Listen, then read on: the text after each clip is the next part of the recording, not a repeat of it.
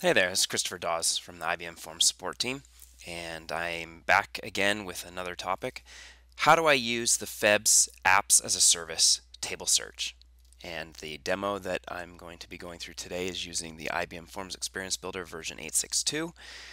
And it's a question that has come up quite recently, and there's been some confusion around it. So let's dive right in. In my form, I've created a table object. And this table object has some columns, and in my case, a name, color, and a number. And what I'm doing in my in my application is I want to search for data that has been added to one of these tables. So let's take a look at my view responses and you can see what I've done. So I've created a couple of records of this form that just has this table in it. And in each one, I've added a few rows, a few unique rows that we'll be able to, to, to use in our example here. Okay, so then what I've done is I've created another form. This is my view form. And, and the idea of this form is that I want to search all of these other forms for records in the table that match a specific criteria. So let's say I want to find all of the table values that had a name of Chris. This search is going to return me all of those values. Now, if we if we uh, put in an asterisk here, you'll see that all of the values that were in each one of these forms have been added to that table. So if we were to go through, there's one, two, three, five, six, and eight. And if we look here, we'll see eight records. So how did I do that? When you're building a form and we uh, want to use a table service, it's important to recognize that there are some limitations with the, with the service. So when you add a table object to your form and then you go to the service configuration screen, you're going to see two additional services that are related to that table, a search and a retrieve. Now, search is the same as any other search in that it will return all the records. Retrieve returns only one record. But this table search is a little bit different because the table search can only retrieve you the records of one submission. Do you see here where it actually has an input parameter for retrieve by either the unique identifier, and that's the unique identifier of the main submitted form, or you can search by name, color, or number. But again, that's only going to return you the values of the main form. And we are considering how we can enhance this behavior for a future release where this table search service can actually query across all the submitted records. But right now, it will only return you the table values for one submitted form. So if I want to return all of the table records for all of the submitted records, then I'm going to need to do something a little crazy. And and let me let me show you what I've done here.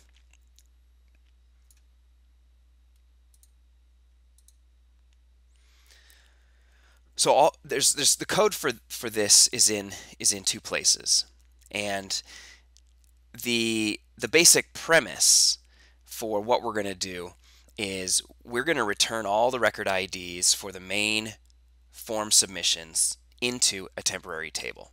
And I have that temporary table right here. And all I'm returning are the record IDs. And I'm using a search service to do that.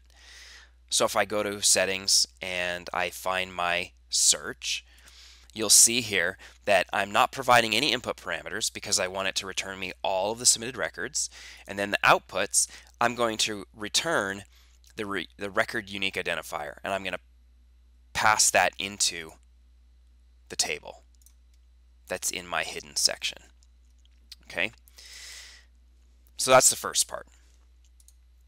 The second part is that once I have that table, I want to iterate through each of those rows.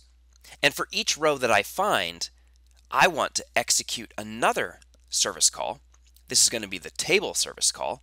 And I want to return all of the table records into this other temporary table.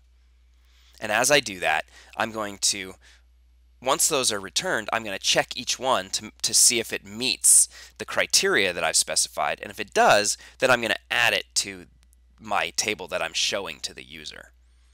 And if it doesn't, then I'm just going to throw it away. And then I'm going to move on to the next main record and continue on that way until I've processed all of the records. Okay, so how do we kick this whole thing off? It's done through the on item change event of each one of these fields. I check to see if the value is, is not empty. If it's not, then I clear the table, which is the one that that is being shown to the users.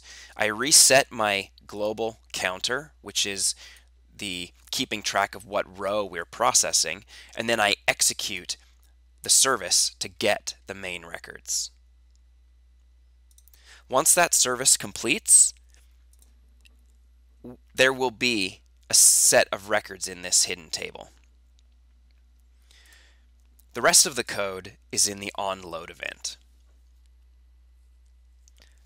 So here I have a listener where once the main record service is done, I'm going to then iterate through each of the rows.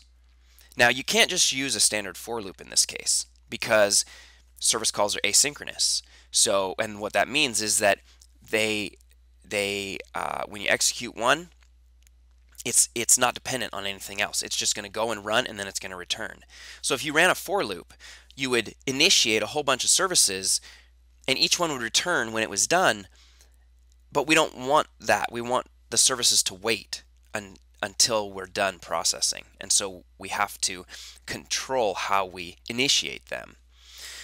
So we're going to use this global variable this current row variable to control when we trigger one of these services to be started. So the first thing I'm going to do is going to get the first row within that table and I'm going to set it into a hidden field which is this temp RID. This is the record ID that we're going to be processing. And we need to do this because if we want to pass that as an input to our service, we have to have a field. So I set the RID into the temporary field and then I call the child record service. And the child record service is going to go and retrieve all of the table records for that main record.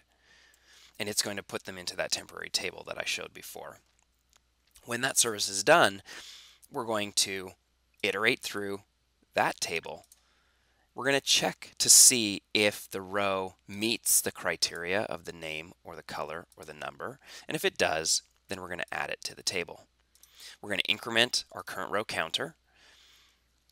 If there are more rows to process in the main record table, then we're going to uh, set the new RID into the temporary field, and then we're going to call the child record service on that to get the new child records. And this loop will continue until all of the main records have been processed. So let's take a look again at how it operates.